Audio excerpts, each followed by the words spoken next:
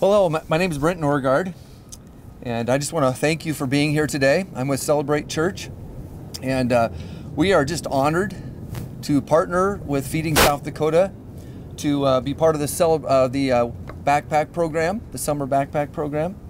And uh, we, um, during the school year, there is a abundant need for our children to have supplemental food sent home with them on the weekends. And this need continues throughout the summer, but that creates a gap. And so during the summer, uh, there's not food for them to go home uh, with them. So we created uh, the South, Feeding South Dakota created this program, uh, summer backpack program for the for, to uh, provide food for the summer. And when we found out about this need, we knew we had to get involved. We knew we had to get involved. It was just not acceptable for more than 500 kids to go without food during the summer. In the Bible, Jesus teaches us that we are to feed those who are hungry. And the people of Celebrate responded to that need. However, this is not about us. This is all about feeding these children and these families and meeting these needs so the kids can be fed during the summer. There are, we want to encourage other people to get involved. Uh, there are many ways to do this. Number one, you, there's a need each week to, uh, to pack the backpacks. So you can come and do that. You can also serve at one of the sites where they, the food is distributed. Another way you can get involved is to provide funding to help expand the program into areas that are not currently served. So I would encourage you to contact Feeding South Dakota to find out more information about uh, these opportunities. At this time, I'd like to invite Jamie Nold. He's the Assistant Superintendent of our Sioux Falls School District, and he's going to talk about more uh, about the needs that exist across our community. Jamie? Thank you. And again, my name is Jamie Nold, Assistant Superintendent with the Sioux Falls School District, and, and we're grateful for the, the support for our, our students uh, throughout the school year and throughout the entire summer as well now. Um, if you can think about it, today is the last day of school for the Sioux Falls School District as we go into the summer break here. And for many of the kids uh, that come each and every day, uh, they have that consistent meal that they will have every single day for lunch and breakfast. Uh, when they hit that summer months, a lot of times they will lose that opportunity as they go into the summer. Kids are excited about summer, so they don't think about some of those things but obviously it is a significant impact on them as they go throughout the summer. So the opportunities that are that are provided there by our food staff throughout the school year has been incredible. When kids receive the free and reduced lunch, and in the Sioux Falls School District, if you can just think about sheer numbers, with 49% of the kids that qualify for free or reduced lunch. We're talking about 12,000 students that would qualify for that. When they go into those summer months, many of those are taken care of but many are not. So they do not have that opportunity to have that daily meal that's a good meal for them um, and that breakfast for them. So an opportunity like this goes a long ways in helping those individual students. Our food staff has been able to supply those different places or locations at the schools where they do have the lunch program or breakfast program, depending on where the site is. And starting as soon as this coming Monday, where they do allow individuals uh, regardless of the income factor, to be able to come in and receive that breakfast or lunch, depending on the site, and, and be able to have those meals throughout the, the entire Sunday or summer so that that is provided for. With the cooperation that we've had, um, now that'll even go further because through the school year we also have the backpack program where the individual students are able to come in and get that food to be able to take home with them for the weekends when they're not provided that lunch meal at the school during the school year. Uh, so to have the backpack on the weekends has helped immensely with a lot of those families to be able to have that food and food source during the weekends. The opportunity now that'll come along as well um, with the with the food that'll be provided uh, to go into the communities uh, to have the truck that'll be able to actually deliver those backpacks. We'll still have backpacks available at many of the sites that feed the lunches or the breakfast. But now to be able to go into the communities and be able to deliver that for one reason or another, some individual students just are not able to, whether it's it's transportation or their family just not being able to get them there or the parent being away at work or whatever the circumstance may be, they're just not able to get their son or daughter to that site to be able to get the food. Uh, so now to have the backpack be able to go and deliver that food into the communities we think about it, and I even did with my, my son and daughter the other night when the ice cream truck comes into the communities and is delivering that ice cream, and they come out and meet the truck, and, and it's kind of fun and the excitement. We think about these individual kids, that same excitement was just being able to have that food or food source and, and the, the parents the ability to be able to provide that for their son or daughter throughout the summer. Now will be able to met with the resources that we've been able to provide and the individuals from our community that have been able to come together to, to provide that. So we're very grateful uh, no question about that obviously we're in the business to help get an education to kids but we know full well they have to have food and those basic resources that we all just take for granted at times so thank you for each one of the entities uh, that are represented here today and for their uh, willingness to give and to be able to provide this for the individual kids in our community here. So thank you. Uh, at this time, uh, Mr. Gassen, I will have you come forward here just to be able to talk about the, the program as well. So thank you. Thank you, Jamie, and uh, welcome everybody. Uh, first of all, I want to thank Jamie and the Sioux Falls School District for all that they're doing, uh, for the fact that they're willing to provide the summer meal program sites across our community. Some 12 or so sites that will be available across the community. Many of them are being sponsored in schools uh, from the Sioux Falls School District. And so we just really need to thank the Sioux Falls School District for their willingness to do that.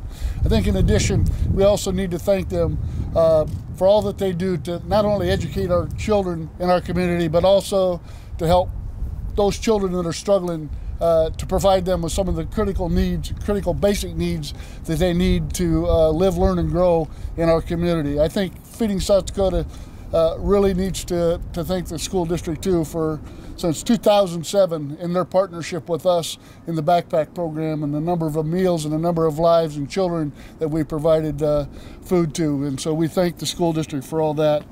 I would also like to take a moment to thank Brett and Celebrate Community Church for all that they're doing to help us with the summer backpack program. Uh, Brett uh, made reference to the fact that uh, through their sponsorship uh, and through their willingness, their kindness, their generosity, uh, this church has come together and is helping us provide 500 backpacks to children across this community uh, this summer, and it's uh, something that wouldn't happen if it wasn't for the generosity of this church and uh, all of those that are members of the church. So, Brent, thank you, and thank your congregation for all your support. You know, we talk about during the school year, we do 3,400 backpacks each and every week that are going out to 30 some schools, uh, more than 30 schools in the Sioux Falls and, and greater surrounding Sioux Falls area. Um, ironically, though, we talk about what Brent and Celebrate Church is doing, and that's providing 500. You know, the only reason we're the reason we're only doing 500 isn't because mythically or magically at the end of today when school's out, that need for hunger goes away, because it doesn't. It's the challenge that we have always had about how do we get food to those children uh, when they're not in schools. Friday's always provided us an opportunity to get backpacks in the hands of kids at school so that they would have that to be able to take home. You understand when schools are out in the summertime, kids are spread out all over our city, and it's uh, virtually impossible to get them all to get back to one location or multiple locations in the summer to be able to get that package of food.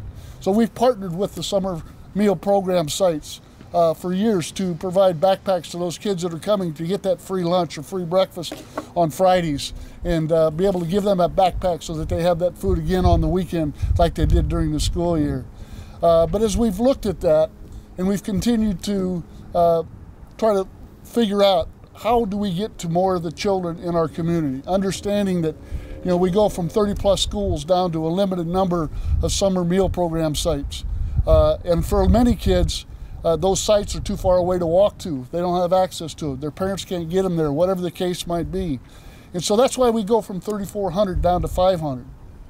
So we had a young lady, Katie Patrick, that came to us uh, earlier in the spring and really wanted to see what she could do to help us deal with the hunger uh, in the summertime with children. And what Katie did is she got us to thinking, and we started to talk. We started to figure out what is it we can do. Um, and so, in a partnership with the Sioux Falls Area Community Foundation, for the first time, we're going to start a summer uh, mobile backpack program uh, where we're going to take backpacks and we're going to take them to uh, sites other than those summer meal program sites. Uh, we as an organization have realized that you know we need to really kind of change our approach to dealing with hunger. We've always been a hunger needs to come where we're at type of uh, entity uh, with our pantry uh, in the in the like. And what we really realize now is that we need to look more at taking food to where hunger is. And so this is one of our first steps. And this pilot program is really going to give us an opportunity to see what it's like, what, what it takes from both a logistics and a fundraising standpoint to be able to take food to where those kids are at. So we're going to go to an additional seven sites uh, beyond the summer meal program sites and actually deliver backpacks to them. Um, some of those are in Sioux Falls. We have a location we're going to do in Tea. We're going to do one in Harrisburg. Um, and so we're really trying to expand this out. We're trying to get food into the hands of more of those children that are struggling to have enough to eat uh, in the uh, in the summertime. Um, you know, hunger really knows no season, folks. It's with us year round. Um, you get asked all the time about is summer better than winter, and it's really not. In fact, it's probably harder on kids because they lose access to those meals in the schools. And so this, this program has become incredibly um, important to that.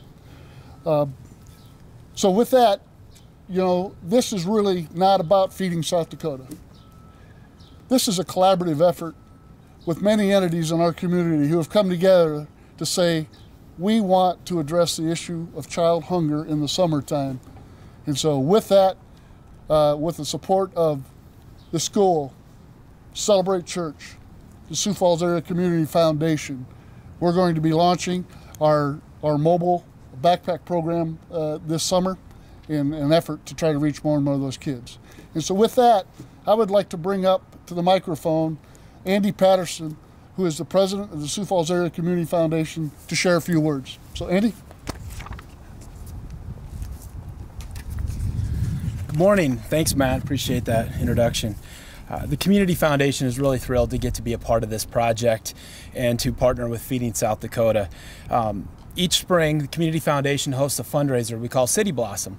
And that raises money that allows us to do grant making, um, our unrestricted grant making, that really addresses some of the most critical needs in the community and looks for opportunities for new and expanding programs that really get at the heart of those needs.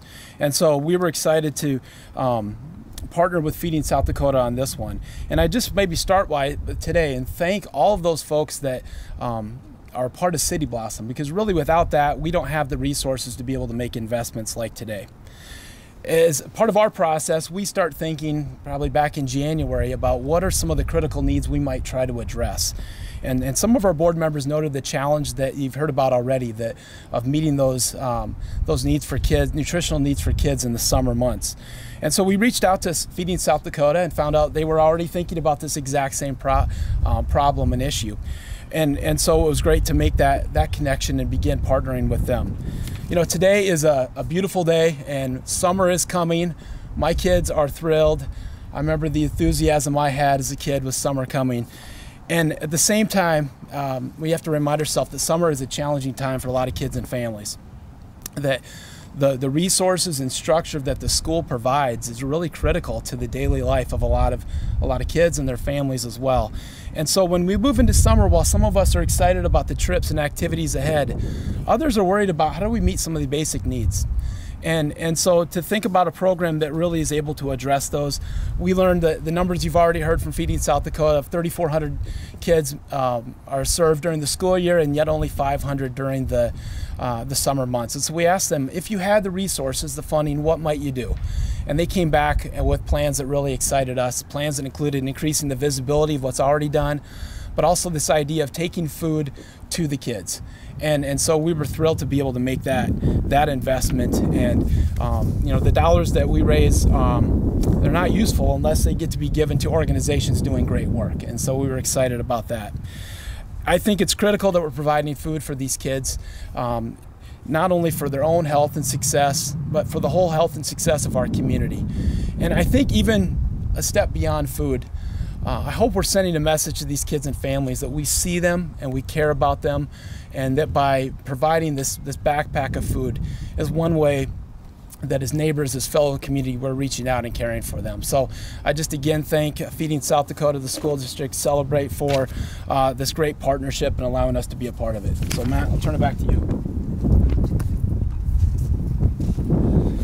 Thank you, Andy, uh, for the kind words. Um, in closing, you know, again, I, I want to thank everybody for, for taking the time to come out and be with us today as we celebrate this this great event. Uh, again, need to thank uh, Jamie, Sioux Falls School District, for all that you do uh, to help us uh, provide food to those children, and for all that you do to educate and take care of the kids of our city. To um, Brent, Celebrate Community Church, um, what a partner.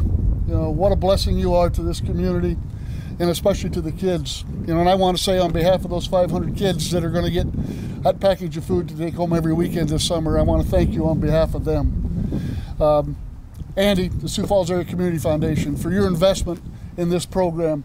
Um, you know, in not only helping to advertise and, and, create greater awareness about where the locations are where these children get can get access to the free foods, the free meals, the breakfast and lunch meals in the summertime, but also where they'll be able to access those backpacks.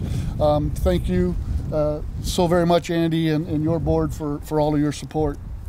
Uh, and in closing, I, I would be remiss if I did not mention one last partner, one last collaborative partner in all of this, and that is the Helpline Center.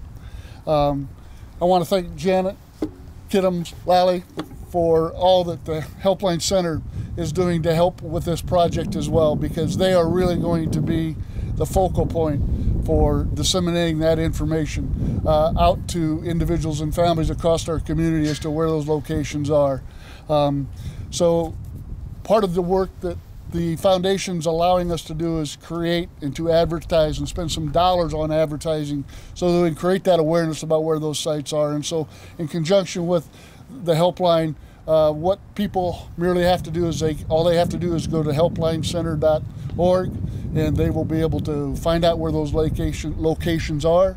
They can simply dial 211 and they will be given uh, information on where the uh, summer meal program sites are and backpack distribution locations are.